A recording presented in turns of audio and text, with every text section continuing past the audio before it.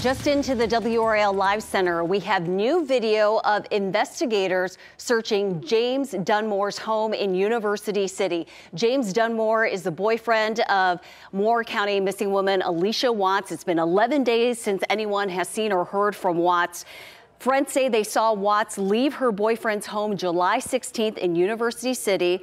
This is video sent to WRAL's Chelsea Donovan from Watts' sister of investigators going in and out of Dunmore's home last night. Police not saying what sparked this search, but family and friends very concerned about 39 year old Watts. Her SUV was found at a DMV office. Her boyfriend was in the vehicle, found unresponsive. He was later taken to a hospital. Police have yet to say whether Dunmore is a suspect in the disappearance of Allisha Watts.